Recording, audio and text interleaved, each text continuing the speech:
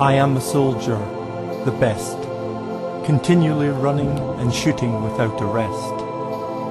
Aged seven years old to the day, my friends die constantly before reviving to fight another way. Quickly are those bygone years replaced by adult life and untold fears. War did not seem so likely to me when enlisting in our military.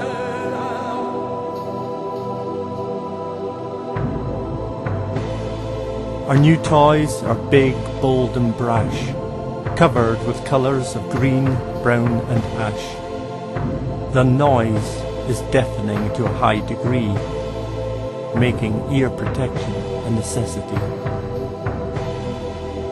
The battleground was totally insane, like fighting inside some computer game.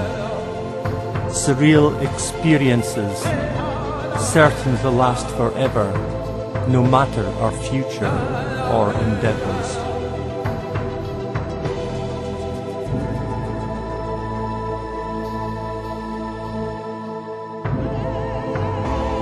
Soldiers do not start the fight. It's loudmouth politicians who retain that right. They are the ones who shout up to the rafters, demanding action after perceived disasters.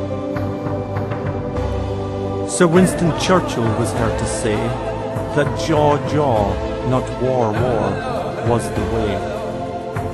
Wise words learned as tyranny reigned, but now ignored, which to me seems insane.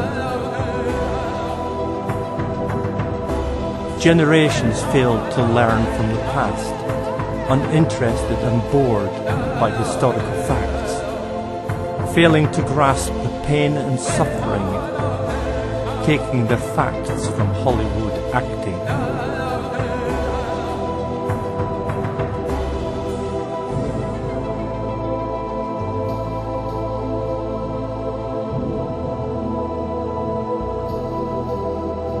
Politicians, you send our young into battle while not prepared to dodge the shrapnel. Words have no courage, nor does cowering behind a cordon of steel win you respect or public appeal. Send us into battle if you must, but be prepared to show support and cover our backs.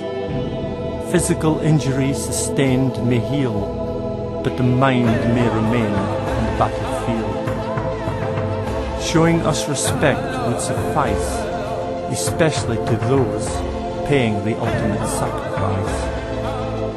Forces personnel, our family and friends, will this mindless bloodshed ever end?